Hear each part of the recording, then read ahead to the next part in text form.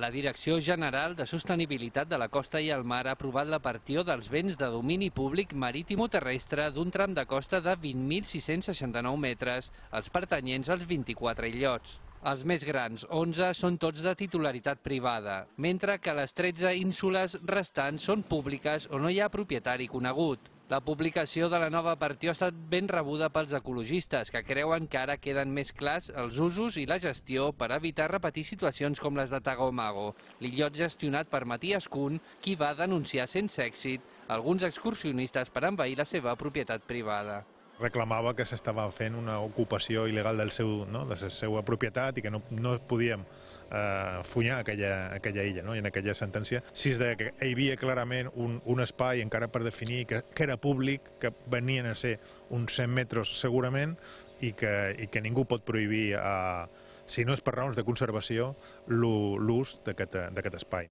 Una dotzena dels illots són de vora litoral de Sant Josep, 8 a Vila, 3 a Santa Eulària i un a Sant Antoni. La majoria d'illots més petits queden a partir d'ara del tot inclosos en domini marítim-terrestre, com en el cas de Naplana, les Cuides Espartà o l'illa de Serrates, davant de la platja urbana de Ses Figueretes, a la capital de l'illa. Els propietaris afectats disposen d'un mes per interposar recurs de reposició i els plànols de la delimitació nova es poden consultar a les oficines de la demarcació de costes a les Balears.